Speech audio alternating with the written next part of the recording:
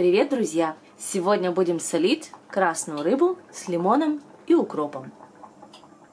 Для нашей смеси нам понадобится соль. Я беру крупную с пропорцией 2 э, к 1. То есть 4 ложки соли на 2 столовые ложки сахара. Размешаем. Добавляем сюда цедру лимона. У меня здесь цедра от одного лимона.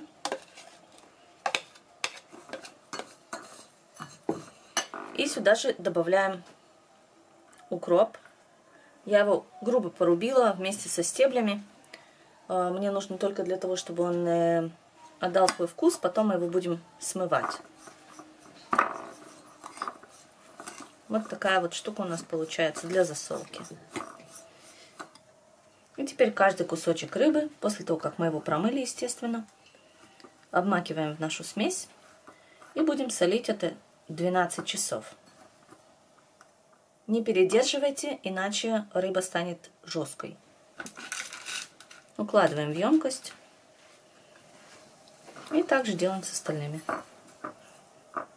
Если у вас климат жаркий, то убирать рыбу на 12 часов нужно в холодильник. Спасибо за просмотр. Делитесь нашим видео с вашими друзьями. Ставьте лайки и подписывайтесь к нам на канал. Приятного аппетита!